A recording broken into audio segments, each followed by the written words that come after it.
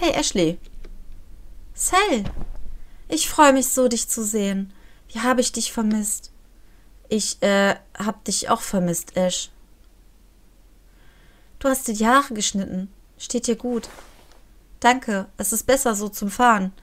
Ich sehe, du hast doch einen neuen Look. Oh ja, irgendwie schon. Sieht toll aus, auch wenn ich zugeben muss, dass ich die Rossschwänze irgendwie vermisse. Hm.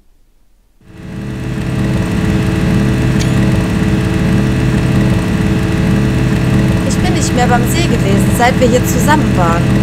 Was hast du gesagt? Ich sagte, es ist schon lange her, dass ich hier war. Bei mir auch. Es ist so schön hier draußen. So friedlich.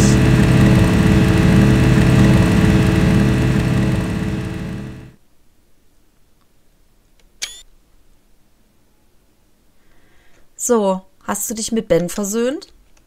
Ja, es passt wieder alles. Worum ging's dabei wirklich? Geschwisterzeug halt. Er hat mich herzlos genannt, weil ich nicht bei Omas Beerdigung geheult habe. Er sagte, ich sei nicht normal, weil ich niemals weine, bla bla bla. Dann wurde daraus ein großer Streit, als ob ich nicht meine Oma, um meine Oma getrauert hätte. Egal, wir haben uns versöhnt und jetzt ist alles wieder beim Alten.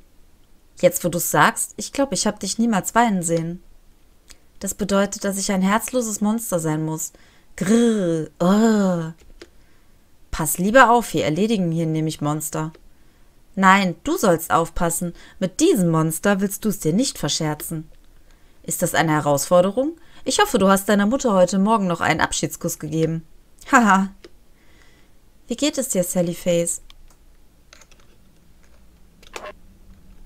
Mir geht es gut. Schön zu hören, aber ich glaube nicht, dass das die ganze Wahrheit ist. Es war gut. Ich bin nur. Ich weiß nicht. Ich glaube, ich wollte dich mit meinem Problem nicht runterziehen. Cell, wir sind beste Freunde. Dafür bin ich da. Keine Sorge. Also lass es einfach raus. Ich weiß, ich habe das schon mal gesagt, aber du brauchst das nicht zu tragen, wenn ich da bin. Mein Gesicht? Deine Maske. Sie ist inzwischen ein Teil von mir geworden. Sie ist das Gesicht geworden, das ich in der Öffentlichkeit zeige, das ich allen zeige.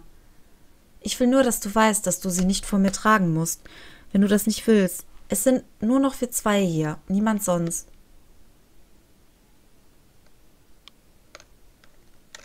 Wie geht's dir? Es war okay, weißt du, aber ich fühle mich immer besser, seit ich aus der Stadt raus bin. Ich dachte, du magst die Stadt. Ich liebe die Stadt ja auch. Es ist toll und es passieren immer aufregende Dinge. Ich lebe nur nicht gerne dort. Es ist so laut und überall sind so viele Menschen.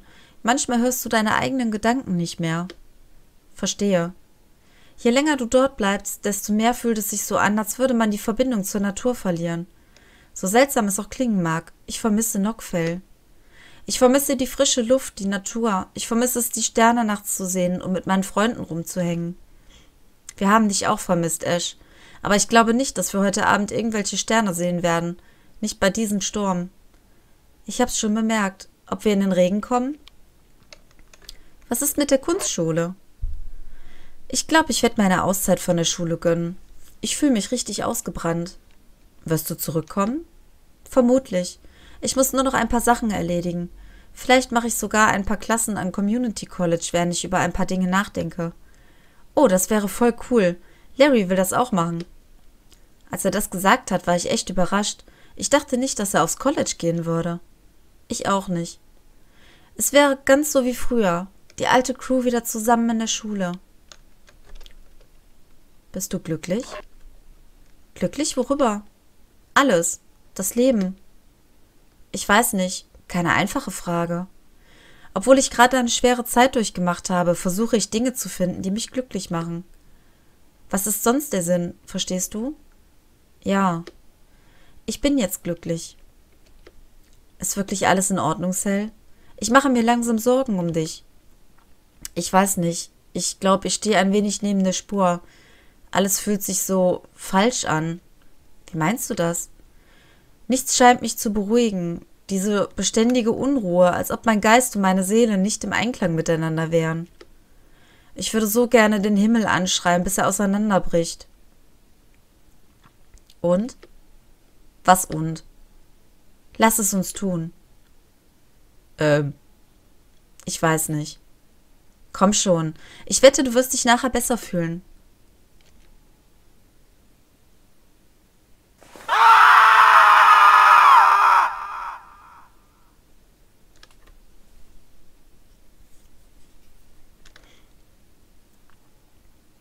Hey Todd. Hey, du bist ja jetzt schon von deinem Date mit Ashley zurück? Ich glaube nicht, dass es ein äh, Date war, aber ja. Na klar, Sel. Wie war's? Es war nett, sie wiederzusehen. Ich freue mich schon darauf, dass wir sie zurückbekommen. In der Tat, Ashley ist eine gute Seele und unsere Untersuchungen könnten von einem weiblichen Zugang profitieren. Zusätzlich könnte jemand, der einen frischen Blick auf unsere Recherche wirft, sehr nützlich sein da wir gerade davon sprechen, Larry und ich denken, dass wieder etwas Seltsames in den Apartments vor sich geht. Ich habe ihm gesagt, dass ich dich heute Abend vorbeibringe, damit wir uns das ansehen. Wunderbar. Das wird mir die Gelegenheit geben, diese neuen Dinge auszuprobieren, an denen ich gearbeitet habe. Wenn du mir einen Moment Zeit gibst, mache ich mich fertig. Klar, sag mir einfach, wenn du soweit bist. Wird schon passen.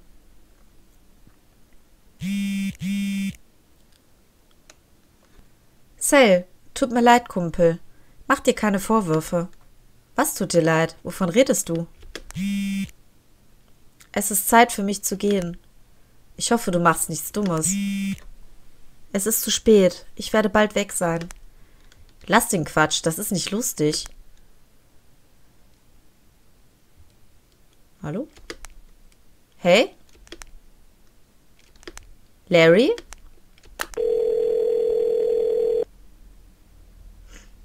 Heb ab. Heb ab, Larry. Bitte heb doch ab.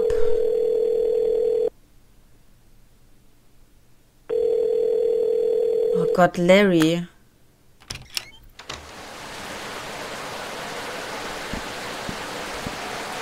Jetzt kann er sich auf einmal bewegen.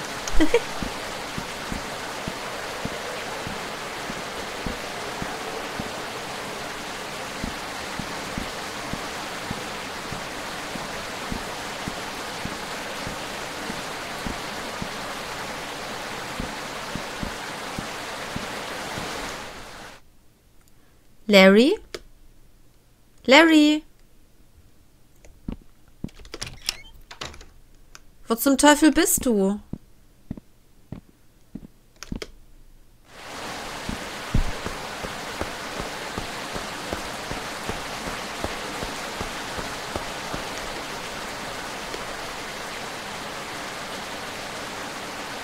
Nein.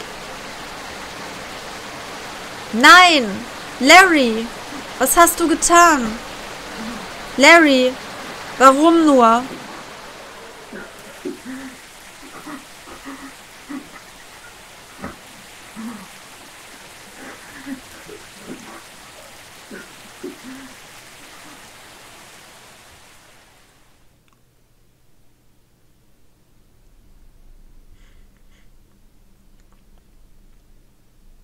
Ich habe mich so gefreut, Zell zu treffen, dass es mir zuerst gar nicht auffiel, wie anders er sich verhielt.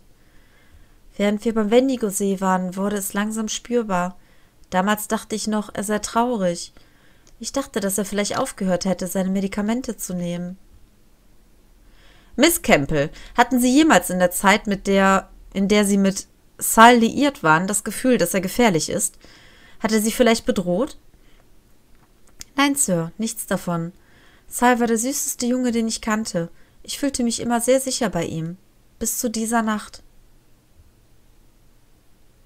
Würden Sie bitte erzählen, was Sie bei dem Baumhaus sahen? Kurz nachdem ich vom Ausflug am See nach Hause kam, rief Sal an. Vielleicht auch eine Stunde später. Er war am Boden zerstört und ich konnte hören, dass er geweint hatte. Er sagte mir, dass Larry tot sei. Ich bat ihn 911 anzurufen, ich sagte ihm auch, dass wenn er es nicht tun würde, ich es tun würde. Hat irgendjemand von Ihnen die Nummer 911 angerufen? Nein. Seit der Highschool haben mir die Jungs eingeredet, dass es eine Verschwörung der Polizei in Knockfell gab, dass man ihnen nicht trauen konnte. Also habe ich mich gegen mein Bauchgefühl entschieden und nicht die Polizei gerufen. Ich bin sofort zu den Apartments gefahren. Sel verhielt sich komisch, als ich zum Baumhaus kam. Er ging auf und ab und redete mit sich selbst. Offensichtlich war er außer sich. Das waren wir beide. Aber so hatte ich ihn noch nie gesehen. Ich versuchte ihn zu beruhigen, aber er faselte von Okkultisten und einem großen Unheil. Er sagte, Larry sei im Baumhaus. Ich brauchte kurz, um mich zu beruhigen. Ich wusste selbst nicht, was los war, ob Larry wirklich tot war oder Sal den Stand, äh, den Stand, den Verstand verloren hatte. Ich sah im Baumhaus nach, aber dort war nichts Besonderes, außer der leeren Schnapsflasche. Kannten Sie Sal als Trinker? Nein, Sal hat fast nie get etwas getrunken. Er hat mir mal erzählt, dass er Angst davon hat, betrunken zu sein, da eine Neigung zur Abhängigkeit in der Familie liegt und er nicht zum Alkoholiker werden wollte. Daher war mir klar, dass was nicht stimmte. Larry war nirgends zu sehen. Und ich begann mir wirklich Sorgen zu machen um Sal. Ich versuchte Sal zu beruhigen, aber er reagierte überhaupt nicht darauf. Ich versuchte mit ihm ins Haus zu gehen und er rührte sich nicht. Wir fingen an zu streiten. Ich kann mich nicht erinnern, dass wir jemals davor gestritten haben. Ich musste weg von dort. Ich ertrug es nicht, wie er drauf war und wollte nicht alles nur noch schlimmer machen. Bevor ich ging, sagte ich Henry und Lisa, dass Sal Hilfe braucht. Sie versprachen mir, dass sie sich um ihn kümmern würden, und ich sagte, sie sollten sich melden, wenn sie mich brauchten. Es war furchtbar, Sal dort so alleine zu lassen.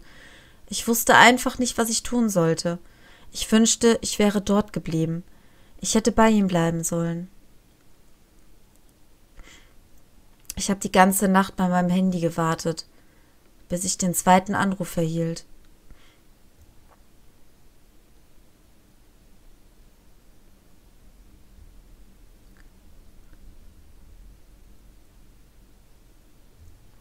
Ungefähr zehn Minuten nachdem Ashley gegangen war, kam Todd. Er wusste, dass etwas nicht stimmte, nachdem ich so schnell verschwunden war und auf seine Nachrichten nicht antwortete. Er fuhr mit dem Van einschließlich unserer Ausrüstung hin.